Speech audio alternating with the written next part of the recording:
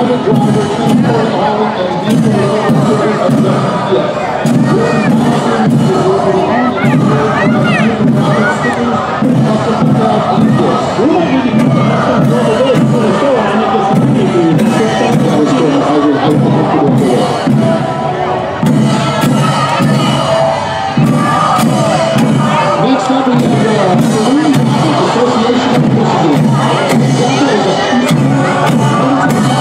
introduced in 1992, it is now practiced in over 100 countries worldwide by over 100 million people.